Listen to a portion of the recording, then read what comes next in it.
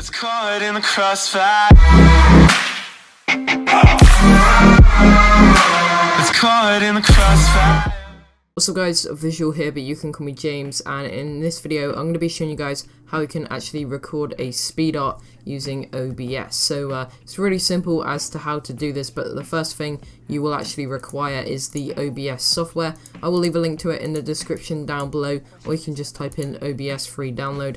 As you can see, the software is free, and it's an open source software for live streaming and recording. So you can actually live stream on this, but it's a free software. I really recommend it. It's what I use, and it's what a lot of YouTubers actually use to record their screens for things like uh, live streaming and obviously recording speed arts like we're doing here. So go ahead and download that, like I said, link in the description, or just type it in on Google, and uh, you will need to download that, and you will also need an editing program. So I use Sony Vegas, as you can see right here. This is Sony Vegas.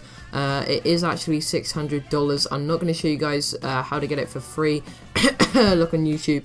And um, yeah, there is a download free trial as well. If you want to go ahead and get the trial for 30 days, you can do that if you need to uh, record a few speed arts. So uh, yeah, Sony Vegas Pro 13 right there. Uh, $600 is the actual price. So um, try and get it for free if you can. But uh, if you can't, just maybe get something like Camtasia or something like that. But you need an editing program that will actually speed up the clip after you've record it. So uh, first things first, you will need to record uh, for your video. So as you can see here, this is quite trippy, but um, this is OBS itself. You can see a little preview of what you're recording right now.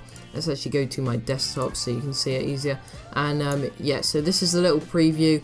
And uh, if you actually want to start recording, just go over to here, right click, go to add, and uh, go to monitor capture.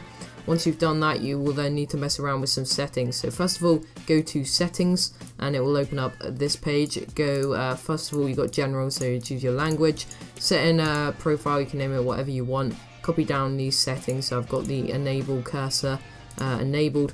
Uh, no, we're just going to leave that. Uh, encoding, as you can see right here, maybe pause the video and copy these down. But I've got x264, quality balance on 10, a uh, I think that's 20,000 uh, max bitrate, codec AAC, format 48k hertz, I don't know what that is, but uh, then over this side everything's left, and then the bitrate 320, that's the max, and the channel is on stereo.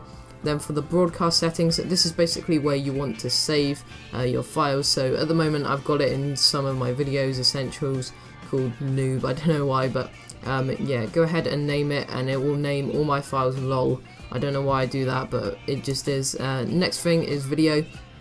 Just choose your graphics card right here, uh, go to custom and just make it 1920 by 1080 unless your monitor is something different. The aspect ratio 16 by 9 and then you've got the resolution downscale just on none and the FPS on 60 so you get uh, the best quality possible. And then for the audio personally I record my audio in Audacity as you guys can see right here but um, you can go ahead and use OBS for that if you wish but um, these are my audio settings if you do need them but I'm going to skip that because I don't actually use that and if even if you're doing a speed art you don't need that. So uh, hotkeys everything's left. I've got start recording on F8 but I never use that. And the advanced settings as you can see here use multi-thread uh, enabled. Then we've got normal 700 for the scene buffering. Then uh, the encoding is unticked. Uh, we've got allow other modifiers on hotkeys that's ticked then uh, as you can see here faster high to I recommend pausing the video because I don't really want to go into too much detail for the settings because this isn't a OBS settings video. And then we've got quick sync none of that is changed. We've got the microphone noise gate none of that is changed. And the scene switcher none of that is changed. So I'm going to cancel that.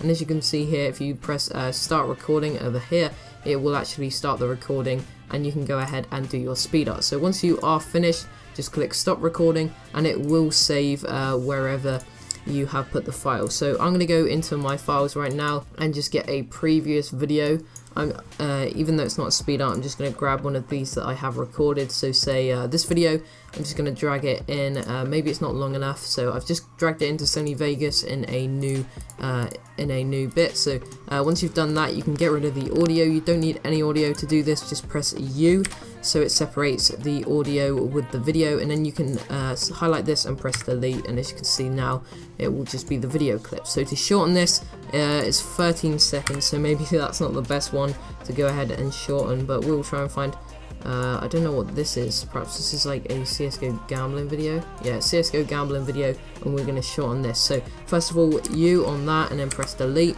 And as you can see here, this video is uh, quite long. I Oh no, it's not even that long. It's like 25 seconds, but um, as you can see here, if we zoom out. So to shorten it, all you have to do is hold down Control on your keyboard uh, at the very end bit and then just shorten it down as uh, short as it goes as you can see here. So that 25 minute clip or whatever has gone to 6 minutes. So uh, if even if you wanted to shorten it even more uh, a way I would do this is to go to render render the uh, actual clip and then um, once you've rendered it, put it back into Sony Vegas once again and do the exact same process and it will shorten it even more.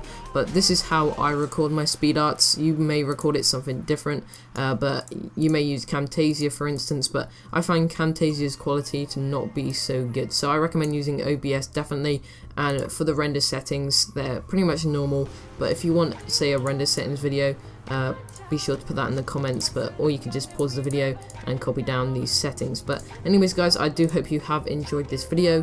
Uh, I know it's been quite short but I do get a lot of people asking me uh, um, obviously how do I record my speed arts and things like that. So that's how I record a, a general speed art. But anyways like I said before hope you guys have enjoyed the video. This has been Visual or James and I'm out. Peace. No, no, no.